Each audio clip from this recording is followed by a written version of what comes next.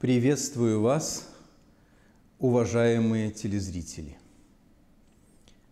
В начале уходящей недели мы вошли в Петров пост. Наступило удивительное летнее время многодневного поста – установленного в честь памяти двух наиболее почитаемых апостолов – Петра и Павла. Его продолжительность каждый год разная. Она зависит от даты празднования Пасхи. И эта продолжительность может колебаться от 8 до 42 дней. Петров пост в нынешнем году начался – 15 июня и завершится, как всегда, 11 июля. На ум приходят удивительные слова святителя Тихона Задонского. «Да постится ум твой от суетных помышлений, да постится память от злопамятства, да постится воля Твоя от злого хотения. Да постятся уши Твои от скверных песен и шептаний клеветнических. Да постится язык Твой от клеветы, осуждений, кощунства, лжи, лести, сквернословия и всякого праздного – и гнилого слова. Да постятся руки твои от биения и хищения чужого добра. Да постятся ноги твои от хождения на злое дело. И еще он упоминает псалмопевца Давида. Да постятся очи твои от худого видения – отврати очи твои, чтобы не видеть суеты. И завершает словами апостола Петра. Уклоняйся от зла и делай добро. А святой праведный Иоанн Кронштадтский некогда написал удивительные слова. Материю, покупаемую для платья, надрывают, чтобы видеть, прочна ли она. Муку, плоды, овощи, вино, масло пробуют, свежи ли они и не смешаны ли с чем посторонним. Дерево иногда надламывают, чтобы видеть, не гнилое ли оно. И вообще почти все все так или иначе испытывают, чтобы не обмануться в доброте покупаемой вещи. Ибо есть много вещей недоброкачественных, фальшивых.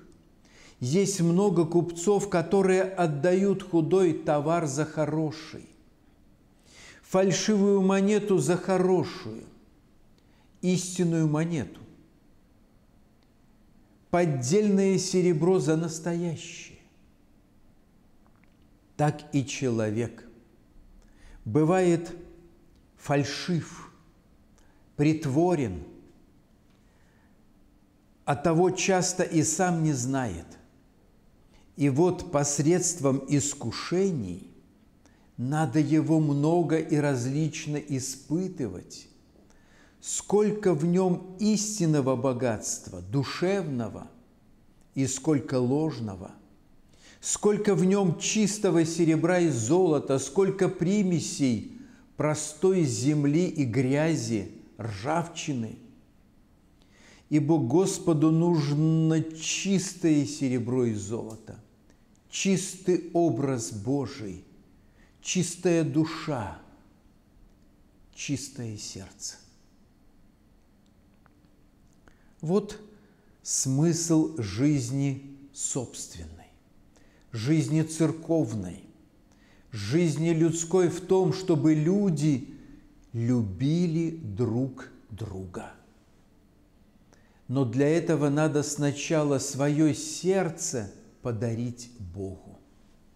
Потому что в своем собственном человеческом сердце сил на то, чтобы любить тех, которые тебя оскорбляют, тех, которые тебе чужды, тех, от которых у тебя чувство отвращения, никогда не найти. Но если твое сердце подарить Богу, если твое сердце открыть Ему так, чтобы в нем жила Божия любовь, тогда можно принимать друг друга, принимать ближнего своего и фарисея, и мытаря. А это уже замечательные слова митрополита Антония Сурожского. Воистину, кто освещает путь другим, сам не останется без света. Не все в нашей жизни надо оценивать, что-то надо просто ценить. А самое главное – это ценить время. Особенно время постное, время покаянное. Ведь время, оно без сердца. Ему не жалко, что ты не успел сказать важное, подарить цветы, построить дом, посадить дерево. Время шепчет. Все в нашей жизни временно. А потому давайте жить неторопливо. Кофейный утро аромат поведает нам чуть лениво, что без мечты мир пустоват. Смеясь над воробьем крикливым, поймем, как ссоры все пусты, что стоит жить неторопливо, и в день шагнем без суеты.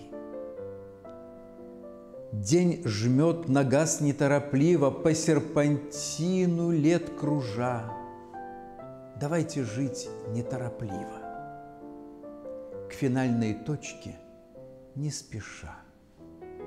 Пускай другие горделиво амбиции взращивают сад.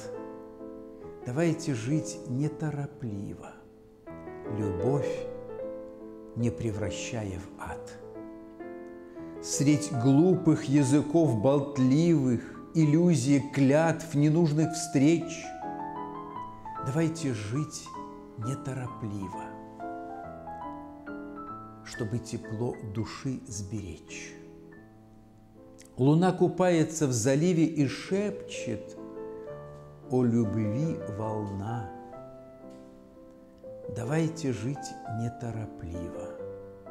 Жизнь поторопит нас сама.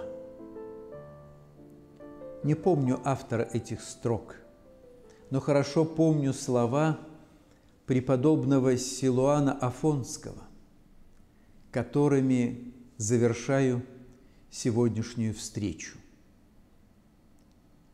Господь любит человека.